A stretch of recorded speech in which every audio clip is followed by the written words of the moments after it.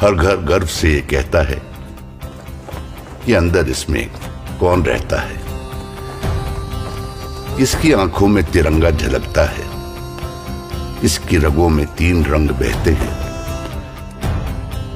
इसकी सांसों में तीन खुशबू हैं। किसका दिल तीन ताल में धड़कता है। किसका सपना आसमां छूने को मचलता है। हर घर गर्व से ये कहता है। कोई आज़ाद इंसान यहीं पे रहता है।